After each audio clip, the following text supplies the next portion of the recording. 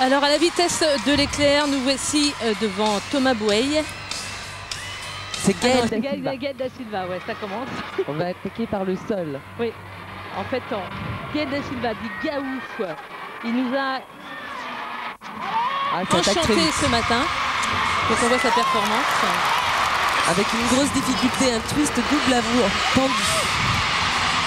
Il enchaîne, tempo, double et demi, demi-tour. Ah, et là, une petite sortie de praticable avec les deux pieds qui va lui coûter, je pense, 3 dixièmes.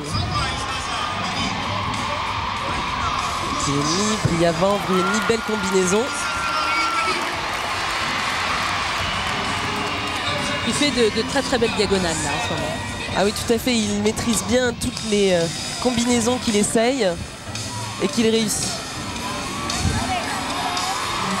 Sur la transversale, là encore une grosse diagonale. Double vrille, percuté et. Ouais. Il est un peu tendu là quand même. hein.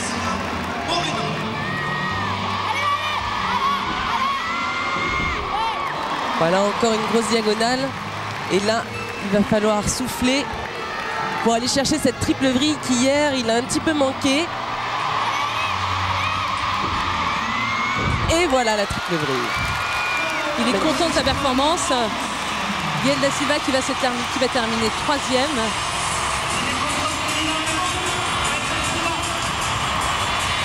Donc la France a déjà une belle médaille au sol. Ah oui, tout à fait. Il y a un gros contenu technique en tout cas et euh, il s'est bien débrouillé sur. euh, Lui qui est cette finale. ouais, lui qui est un spécialiste des anneaux et du saut.